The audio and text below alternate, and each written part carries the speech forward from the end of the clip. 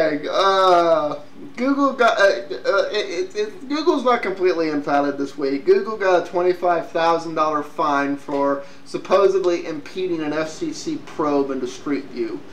I don't actually know the particulars on this one too well. All I know is they were fined. My guess is they're going to appeal the fine.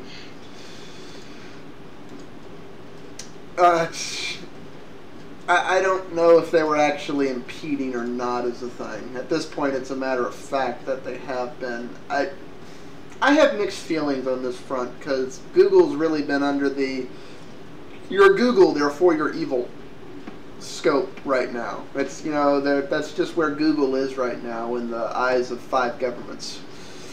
I'm not saying Google isn't necessarily evil. I'm just saying it's a little disproportional right now because there's instant. Um, I don't understand think that Google is evil. Maybe that is it because they're what? what?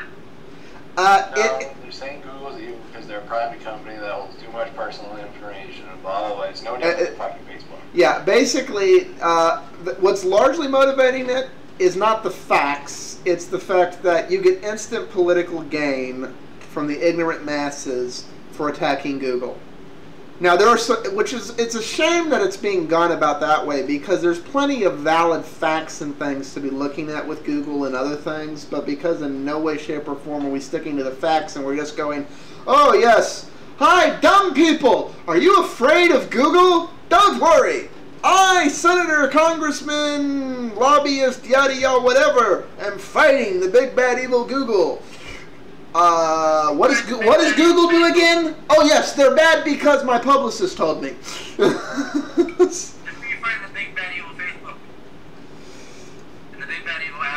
No, no, no, no, no. You do not attack the Zucker Pope. You invite him over and ask him for advice. You do not attack the Zucker Pope. And you do not attack Apple because then you get billions and millions of freaking rabid Apple fanboys and girls. Um, No, a lot people like Google. Remember, like last week's show. And honestly, some of the die-hard Apple fanboys uh, are not as zealot as they used to be, and that's thanks largely to Steve Jobs.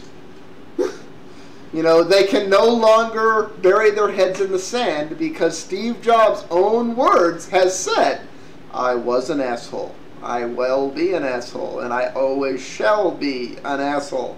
They're like, You should and die. he he really he really was this no no i gave him the benefit of the doubt and my firstborn and my bank account he can't be like this You know, but no iPhone every time it came out, a new Mac every time it came out. Well, you're a moron. Sorry, I That's had just to. uh, process all done. Well, you got it right, huh? Uh, Bob's not taking sympathy on uninformed consumers.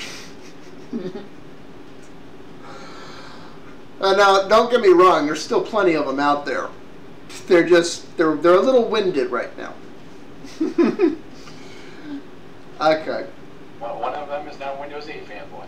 yeah he's converted not the way we not in the way we wanted but Welcome to the bear. Well, we kind of we wanted him to go to a Unix-like system. Yeah, not Uh, go. Yeah. with crappy directories, crappy. and, and, and, and something called, I think it's Metro. And it's- But Okay, it works take so a break. well. you know what? We need to get like a video of Marcel. We need to get like a video of Marcel just like going. And we have like a bear noise coming out of him or something. That'd be a bear driving a choo-choo train. I see lots of forward obscenities coming out of Marcel's mouth, especially besides Scotch. Uh, well, the good thing is he has one heck of a sense of humor. So he's probably one of the few people we can poke at like this, where he'll just come back and correct us rather than get angry at. He won't get mad. He'll get even.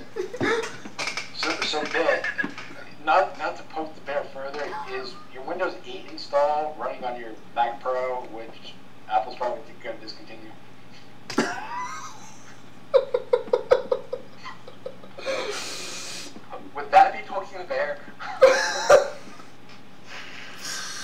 You know, when Apple finally does do that, we're gonna have to handle that with very kid gloves, cause. No, I think Bit will just have to go back to building his own PCs. Uh, but will he do it with Metro or will he Frankentosh? I think he'd probably Frankentosh the. Uh, the He'd use OS Mac- 10 against against the wishes of Apple. I, I think he'd Frankentosh his.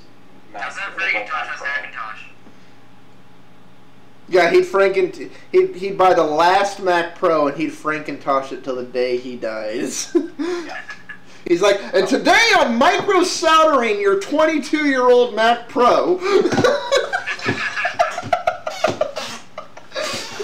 I can't say much. I've looked at, the, at getting a freaking Mac, uh, the friggin' Power Macs. So God.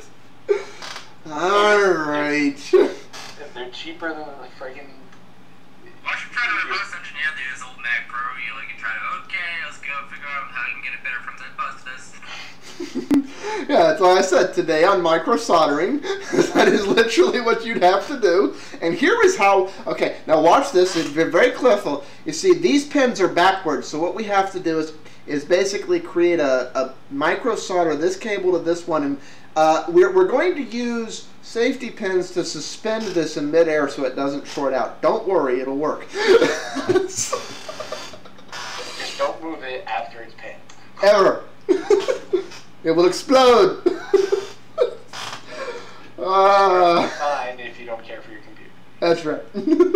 But this is 22 year old Mac, uh, Mac Pro. they don't make them like this anymore. They don't make them at all. oh, I think he's steaming now. I bet. yeah.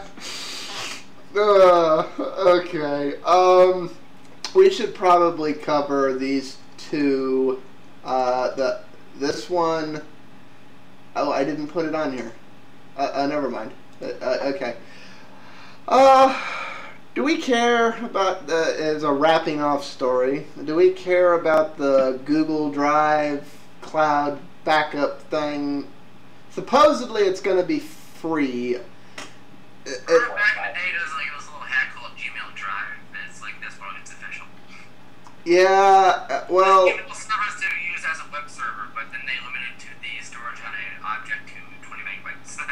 yeah, this one's supposedly going to be 5 gig with the possi one of the rumors is additional storage will cost additional money. Um, I don't know. I- I- It's a. I'm instantly suspicious of it because it's from Google. You know, I'm not sure I want more of my data in Google's hands, and I have a sneaking suspicion. Unlike services like, are we sure? Are we sure? Is it going to be cert- like services like Carbonite? Well, yes, but uh, it should self-encrypt. Most of the backup services that are available today, they they have the files, but as part of the process of uploading them, they get encrypted. So even the people who are backing them up don't have a clue what files are actually backed up on their system. Uh, Dropbox, encrypted, but everybody has a shared key. So there's one there's one master key that works with every account. Yeah, which is a big fail security wise.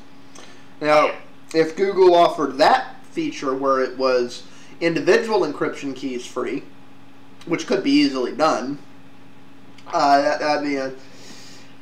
I mean, we don't know the particulars, pretty much everything about this mystery cloud services rumor at this point. You may have to have a Google Chrome account and or Plus to even use it. You must ID. Do you have your GID? One one people under the Googledom, regardless of nationality. uh, uh, either one of you think this is going to be a good thing, bad thing? Waiting for the facts. I don't know. I don't. I use Ubuntu One, so whatever. Well, what do you think the uh, former, you know, even one of our former guests on the show, the Google fanboy, what do you think he would think of this? You know what? Bit will be ins- instantly suspicious of anything Google. Uh, yeah, I'm a little suspicious of things Google. There's a reason I have eight Google accounts, and I have the things separated, and I use hacks and cookie things. And one of the pieces of software I aspire to building at some point is a browser with built-in sandboxing, so that I'm using proxy spoofing and sandboxing and everything else so I can maintain numerous things to basically protect my ass from Google. Oh, wait, did I say that aloud? I'm sorry. uh, download Tor. well, no, but I mean, so you can browse, and it's just it's it's automatically anonymizing it. It's not gonna, okay, which tab has, your, has this VPN and this cookie set and, and another tab has different VPN? Yeah, it's like basically you can group them. You, you- like how you right click now and say new tab, new window. You can say whole new frickin' sandbox session, proxy, Yeah, open this porn tab. What's a porn tab? I don't know. Oh, like it is different. I'm talking about the tab. Like you, you're gonna label these tabs like different tab set or cookie sets. You know. Uh, well, I just don't like. I, the main reason I want that is I don't like fighting with their login thing. There's a reason YouTube's under one account, my Gmail's on. I have a Google Plus, and I have multiple accounts. I have multiple analytics accounts. I have multiple things, and I do different browsing and different things under different accounts because I'm doing things for multiple people, multiple clients. It's not all mine, and I'm in different modes when I'm doing different frickin' things. I don't want these things overlapping. There's a reason they're separate.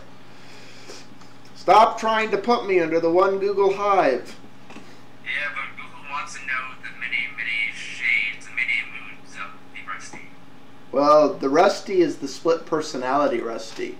There are many separate shades of Rusty. I thought it was red.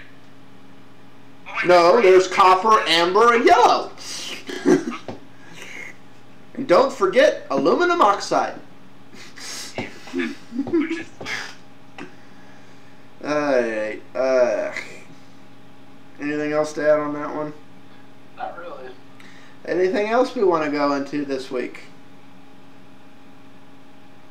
Guess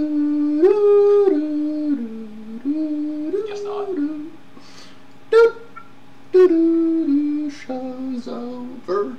Okay, everybody, goodbye. Short show. I'm a little light on stuff because I was planning to leave room for bit rants, which we have none. But I'm sure we'll get an earful the next time we see him. this has been Tech Babble, also known as Poking the Bear. We would never do such a thing. Nah, never, never. We would never poke the bear. Don't poke the bear.